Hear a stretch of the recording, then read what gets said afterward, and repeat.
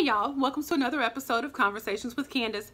I'm Candace and we're going to be conversing today. We're talking about two things today while I flat iron my hair. We're talking a little bit about my uh, natural hair journey that led me back to uh, texturizing my hair and uh, my home getting broken into. So if you have some wine, grab it because this is going to be a doozy. Let's get started. So about a year ago, I decided that I wanted to transition back to natural um, you know, we're all born natural. And then somewhere along the lines, our mamas were like, relax our hair.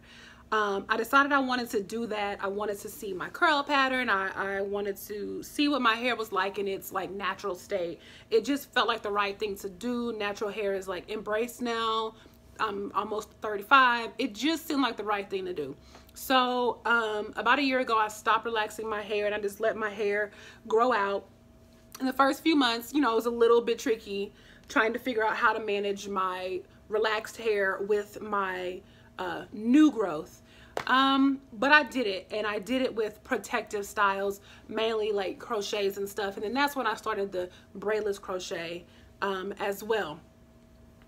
It worked out really well um, until I got about five inches of new growth and I discovered my curl pattern. It's like a 4A.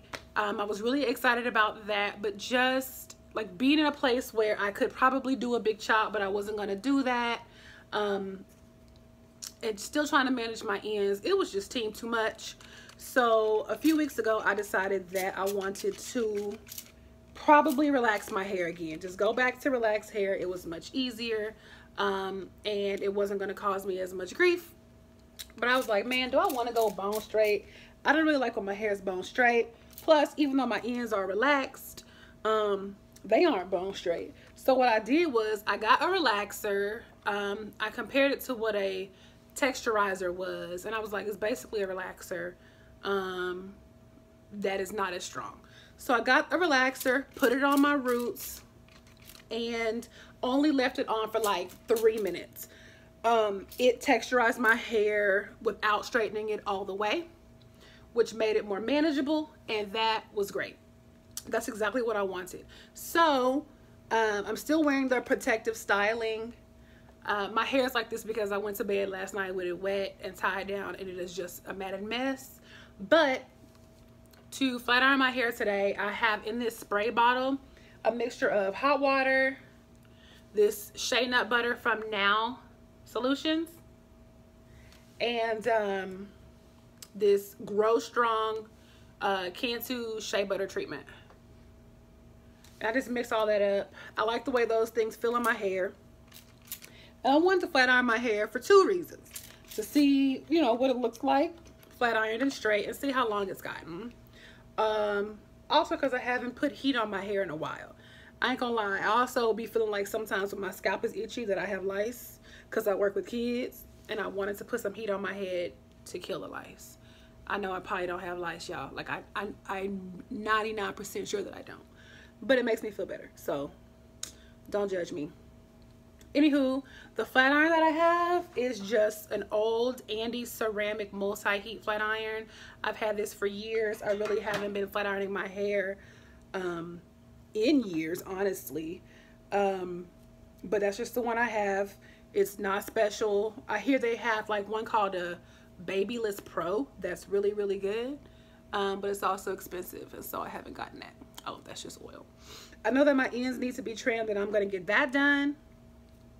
Um, but it, I just need to figure out my life, find a stylist who can trim my ends and get my hair back um, to a healthier state. This spray bottle is a little tough to use because the oil one of the oils is a solid, so it's hard to spray out. All right, boo.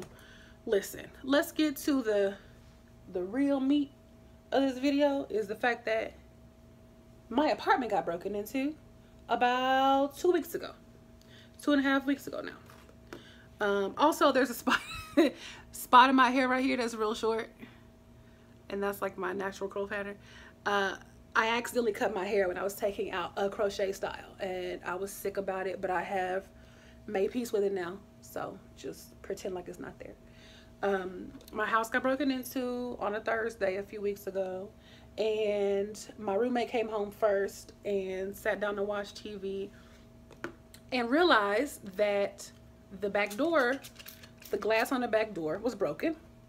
And so she immediately left and went to the apartment office and was like, hey girl, she called me and she was like, hey girl, our apartment got broken into.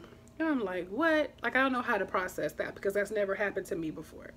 I got my in my brain, I just can't wrap my head around somebody violating my space in that way. So we called the sheriff's department. They took a while to come because you know it's a non-emergency after it happens. Um, waited for them to come. They assessed the situation, and of course, they asked, "What did they take?"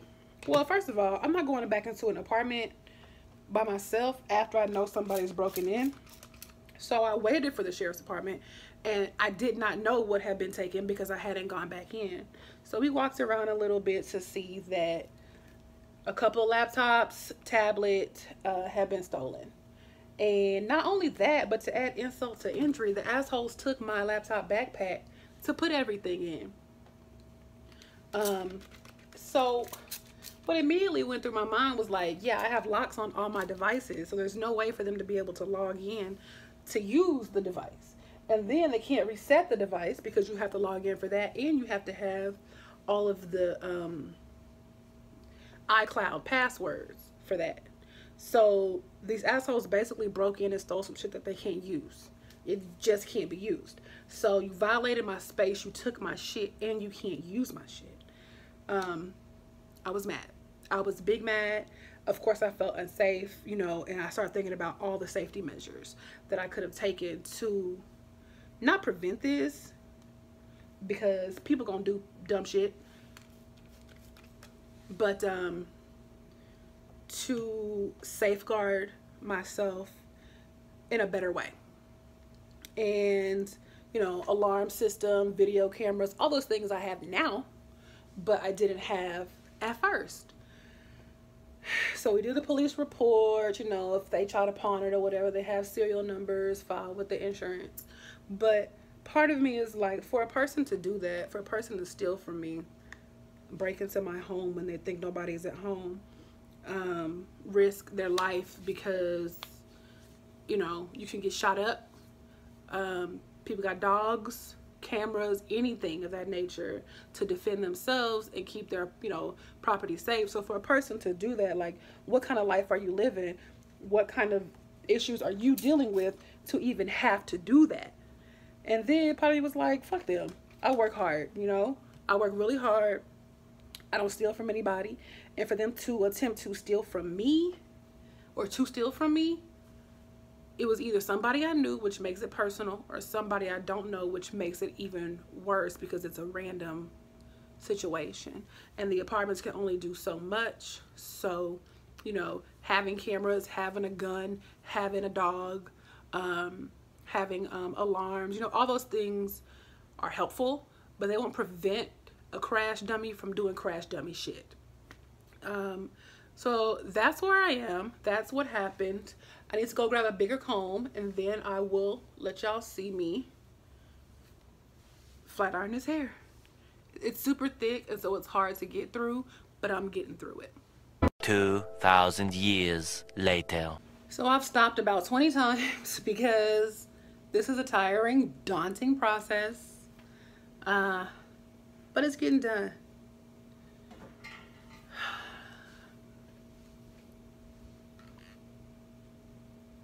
I do like the length of my hair right now. I know that my ends need to be trimmed. Um, and I won't be flat ironing my hair anymore. Probably for another year. So, this is just for fun. Oopsie. Also, recording on my phone because I don't have my MacBook is the most annoying thing ever. And it is just a reminder of the fact that, some, that somebody didn't want to work for what they wanted and they just stole my shit. Um, if you've had an experience with a break-in, let me know below in the comments. I want to hear. Also, I'm sorry that you went through that.